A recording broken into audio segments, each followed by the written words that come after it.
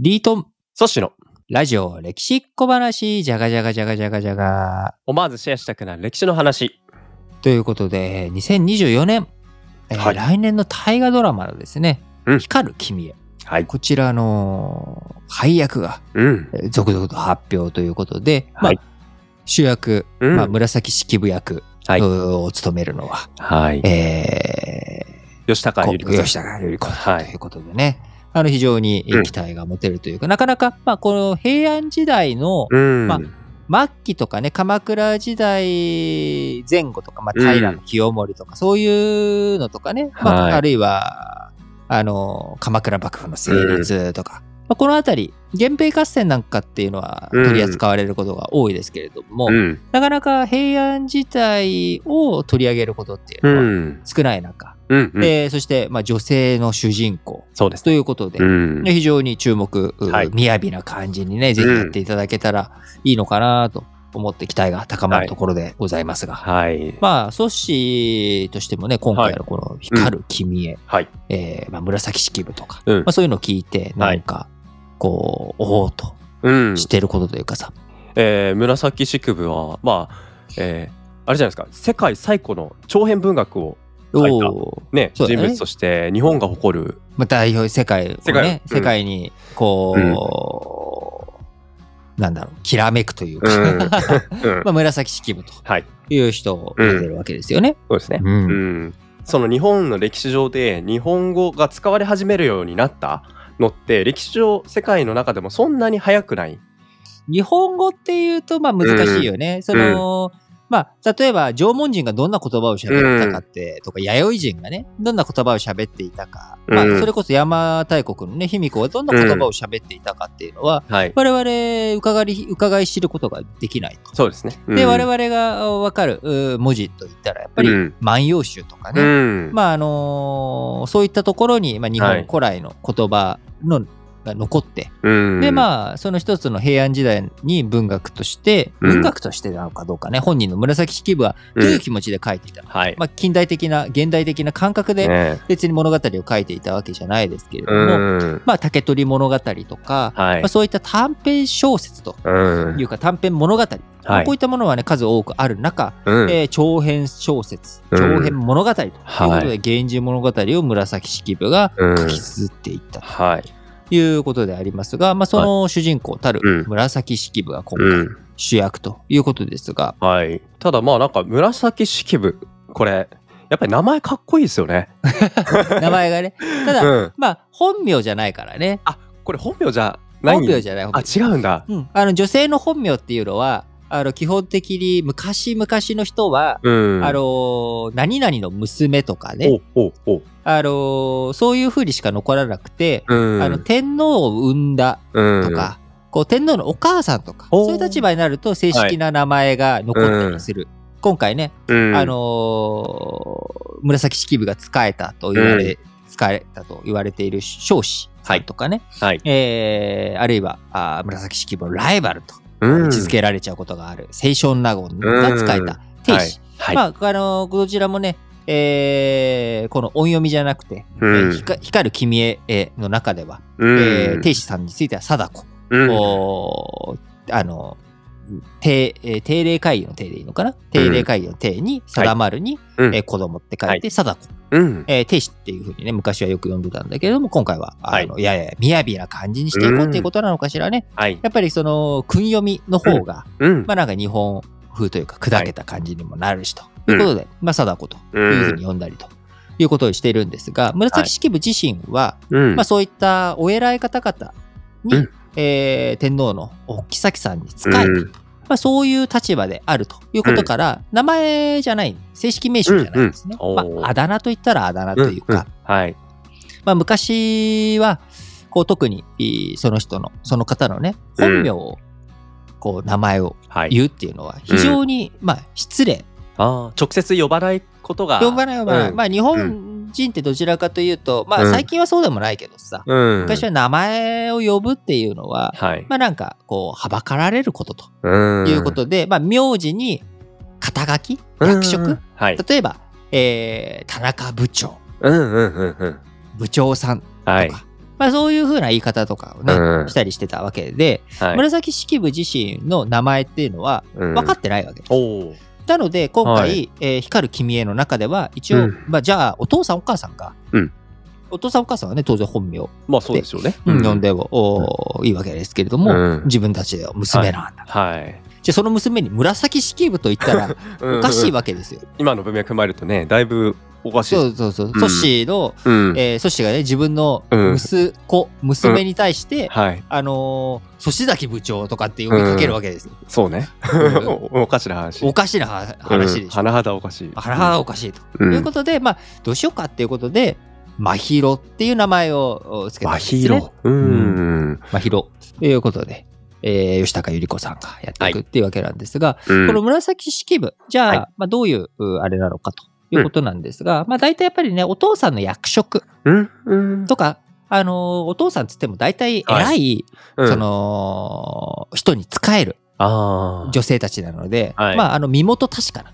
うんうんうん。そんなね、そんじゃそこらの庶民の娘じゃうんなれないわけですよ。うん。なぜなら、やっぱりいろんな教養深くなきゃいけなくて、うんまあ、。清少納言とかがね、あの、中国のうん大雪ってどんな感じなのかしらって、うん貞子はい。に、こう、偉いね、こううん天皇の皇后様はいに。値するような人が、清少納言はい。やと。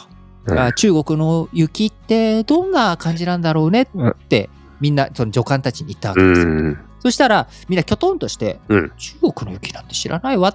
ところが、監視の一節に、はい。あのーこのお中国の山、うん。見過ごしに見るっていうような表現があって、ちょっと僕も記憶曖昧なんで、はい、ちょっとこれはものの例えとして聞いてほしいんですけれども、はい、でそれでミスを上げて、あのこんな感じでいかがでしょうか、うんうん、清少納言はよく知っているわみたいな、まあ、こういうほほほほほほほっていうようなね、アフタヌーンティーを楽しむかのような会話についていかなきゃいけない。なるほど。ついていけないとそこで終わっちゃいますからね。そうそうそうこの人つまんないわってなっちゃったらさ、ちょっとうんね、他の人に変えてというようなことにもなっちゃういし、あの、あるいはいろんな仕事もあるわけですね。うん。日本は中国とか他の国と違って、宦官って言われる、うん。こう、女性の身の回りの世話をする、はい。まあ、あのー男性のシンボルを切り落としたうん。男というのがいないわけです。うん。で、なんで中国とか他の国ではそういう人たちがいたか、うん宦官っていうのがいたかっていうと、まはい。あ女性の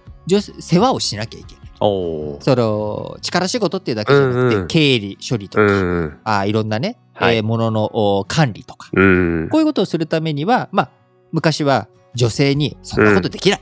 うん。男がやってやらなきゃいけない。ということで、まあ、でも男にうん。シンボルがついていたら、うん。こう、特にその高級と言われる、うん。こう皇帝とかお偉いさんの、うんはいおそういった場所っていうのは、まあ、血筋っていうのは非常に大切だから、そうですね。そこに万が一のことを排除したいと。うん、うん。うん。やったら取っちゃえばいいじゃん。っうん。ていうような、まあ、すごい非常に乱暴なことをうんやっていたわけです。はい。それに対して日本の場合は、はい。まあ、女性が自分たちでやったらいいじゃないと。ああ、中国は男性にやらせたけど、日本の場合女性でいいじゃん。そうそうそう、女性がやったらいいじゃんということで、はいまあ、紫式部たちうん女官たち、女官たちがそういう仕事もうん。やっていくとはい。いうことなので、非常にまあ学があって、ああ。教養がないといかんとうん。いうこと、そして、まあ、はい当たり前だけれども、うん。京都にお住まいじゃなきゃダメなのよね。はいはいはいはい。リモートワークダメなのよ。現地でね、対面でってことですよね。お近くでっていう。そうそう。だってお近くでね、そうんそば使いをしなきゃいけないし、リモート、あの、うんリモート人員は募集しておりませんっていうね。まあまあ、まあ今から 部屋に限った話じゃないですけど。1000年前の話です。うんうん。まあリモートもできないということで、そうすると平安京の近くに住ま、住めると。うん。そうで、その通勤圏というか、まあまあ住み込みだから、通勤圏もクソもないんだけど、うん。そもそも平安圏に住むっていうこと、それがまずステータス。もう平安京の中にね、住んでいる人たちという中で、はまあ、こうなっていくわけですから。身の回りのお世話をできる人。そうそうそう。絞られますよね、そうそうそう、非常に絞られる。そうするとね、大体、あの、例えばさっきさ、あの、う。うん。田中部長とかっていう、はったりしたじゃない？名字に役職ってのあるんだけれども、はい。大体昔の平安時代の頃ぐらい、うん。まあ、大体紫式部が生きたのは973年ぐらいから、はい1030年ぐらいまうんうんでいうふうに言われているんですけれども、はい。この頃、大体偉い人っていうのは、うんみんな藤原だったわけですよ。確かに。全員藤原でね、藤原部長全員藤原どの藤原だと？もちろんね、家系が違ったりとかして、うんだんだんだんだん藤原氏はもうちょっと分かりづらくなるから、お藤原が本して、うん。えーなんだけれども、九条とか一条とか、あ近衛とかっていうふうに名字を使うようになってくるのは、うんもうちょっと後の時代なの、はいはい。この当時はまだ藤原道長とか、みんなうん藤原、藤原、藤原なわけですよ。うんうんうん今回ももう、ね、光る君へのキャスティング見ると、藤原祭り。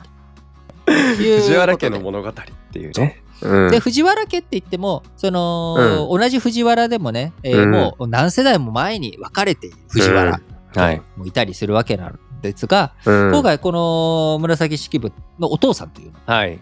えー藤原はい。だったわけですね。うんただ、、例にもです。大して偉くない藤う原。んうんうん。。偉くないい藤原だった。はい。わかりづらい。でも、偉くない藤原さんって言えないですよ。そうそうそう呼ぶときにね。だから、で、藤原って一時もう言わなくていいじゃん。っうん、うん、確かに。うんて。いうことで、その、お父さんが、はい式部醤油とかだったのかな？まあ、式部っていう、まあ、はい人、人事部昔うんうんうん。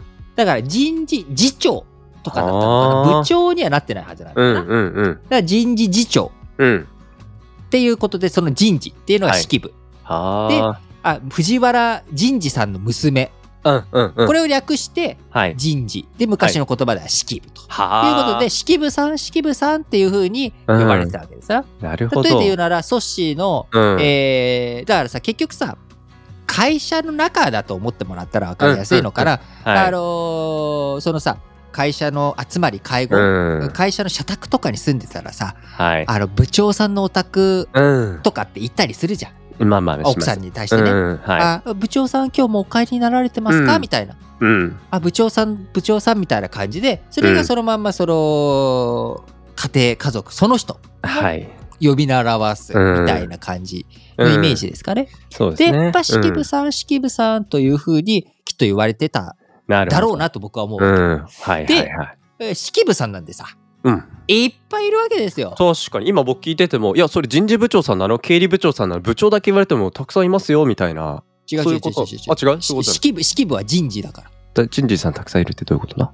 人事次長とかさ、別に。ああはいはいはい、はい、とか、えー時代を超えたらさ、うん。いっぱいいるでしょ？あ確かに確かに。ううん。ん、まあ、人事部長歴史は長いですから。うん。歴史のね、はい。そんなさ、うん。あの何十年も人事部長やってるとかっていうのもあるわけじゃないです うんそうですよいますよたく実際そさんね。の藤原の為時っていう人が、うん。あ紫式部のお父さんなんですけれども、はい、まああのいろいろ転々いろんな仕事してるわけですよ、うん。まあ、地方に、えーはい。ねあのーこう単身赴任したりとか、うんまあそういうこともあったり、はい、えーいろんなねうん。あの仕事をやってるわけですよ。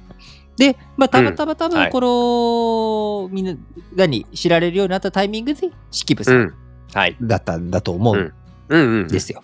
はい。でところがまあ式部っていうのはいっぱいいるから、まあ、いつ頃なのか、うん。紫っていうのがつくように。はあ。紫。多分、はい、うん。本人は紫式部って呼ばれたことあったのかな？式部さん式部さんってきっとうん。言われたんじゃないかなって僕は思うんですよね。で、うん。後々どの式部さん？っていうのを分かりやすくするために、はい。紫、まあ、これは「源氏物語」のうん。紫の上はい。っていう人が出てくるんですけど、まあ、この紫の上っていうのがうん。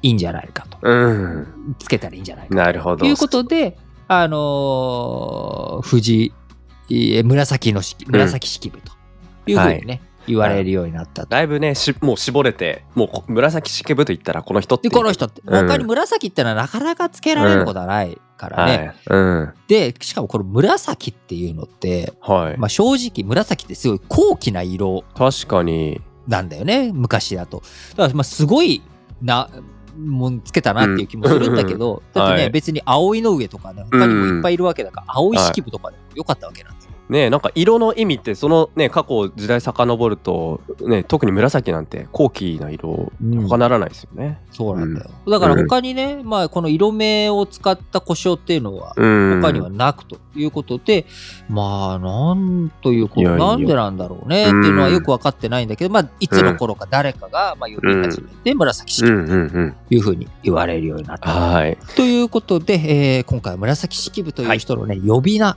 まあ、今回、まあ、光る君へで、真宙という本名としてね、仮置きされた、まあ、その大河ドラマはい。の中では真宙というふうに言われてうんたわけですが、はいなんで紫式部っていうの？っていうね、ええまあ、このあたりについて今日はお話をさせていただきました。次回は、まあ、彼女が残した、まあ、ソッシーでも知っている、源氏物語、はい。制作秘話について話をしていけたらなと思っております。はい。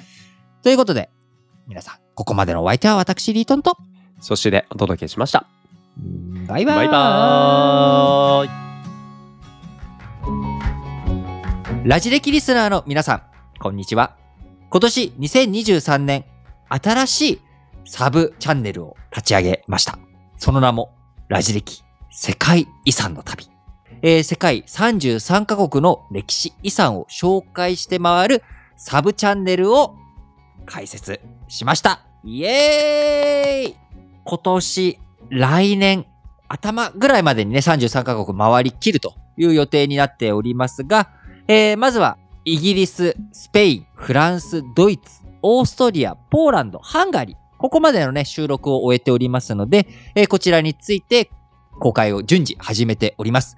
えーなので、こちら、ぜひ皆さん、ラジ歴世界遺産の旅で検索をして見ていただければと思います。えその他、あ Spotify や Apple Podcast などのプラットフォームの URL、えそちらも記載しておきますので、ぜひ興味のある方は聞いてみていただければと思います。